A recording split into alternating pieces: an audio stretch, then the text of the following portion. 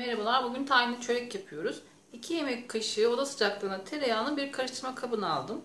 Üzerine 1 yemek kaşığı toz şeker, 1 çay kaşığı tuz, yarım paket instans maya, yarım su bardağı sıvı yağ, 3 çay bardağı ılık süt ilave edip karıştırıyorum.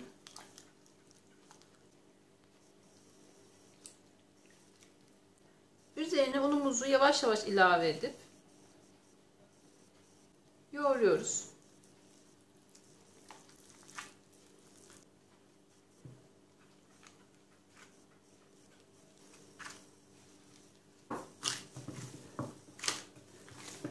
Hamurumuzu yoğurduk. Ben toplamda 5,5 su bardağı un kullandım.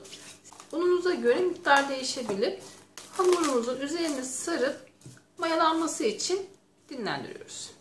Hamurumuz mayalanırken içimizi hazırlıyoruz. 1,5 su bardağı tahinli bir karıştırma kabına aldım. İçine 2 çay bardağı toz şeker ilave edip karıştırıyorum.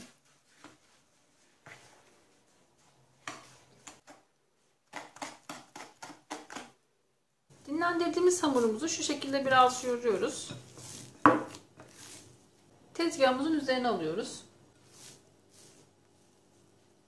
12 eşit parçaya bölüyoruz. Beze yapıyoruz.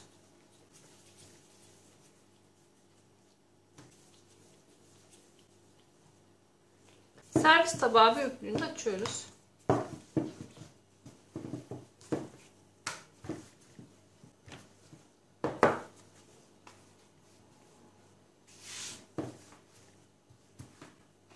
Üzerine hazırladığımız içten döküyoruz.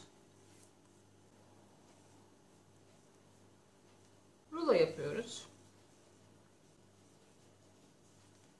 Hazırladığımız rulomuzu ummadığımız tepsiye diziyoruz.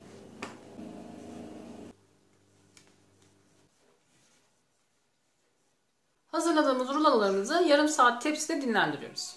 Dinlendirdiğimiz ruloları iki ucundan ters çevirerek uzatıyoruz.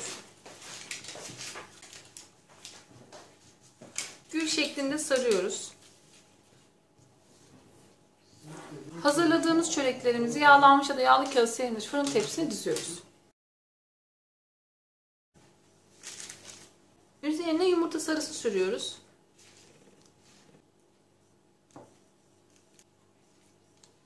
Çöreklerimizi önceden ısıttığımız 180 derecelik fırında üzerleri kızarana kadar pişiriyoruz.